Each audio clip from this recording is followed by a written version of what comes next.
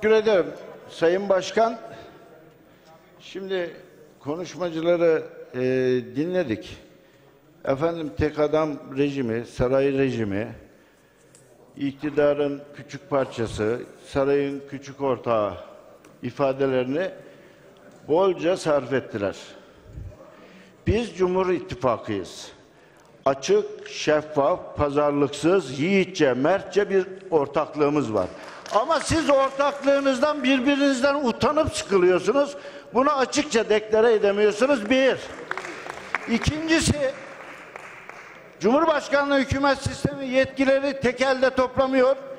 Çok başlılığı ortaya e, ortadan kaldırıyor ve sizler hala vesayet makamlarını savunuyorsunuz ve ayrıca pasif muhalefetsiniz, edilgen muhalefetsiniz.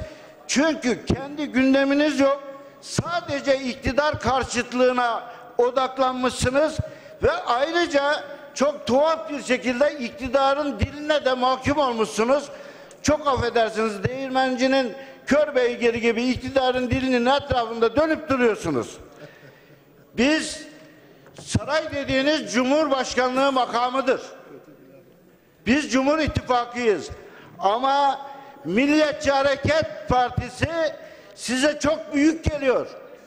Küçük ortak diyorsunuz ya. Milliyetçi Hareket Partisi size çok büyük geldiği için bu acıyı yaşıyorsunuz. Çünkü Milliyetçi Hareket Partisi ilkeli, sorumlu, sorun çözen, çözüm üreten, inisiyatif sahibi, gerektiğinde hamle yapan aktif ve aksiyoner bir siyasi partidir.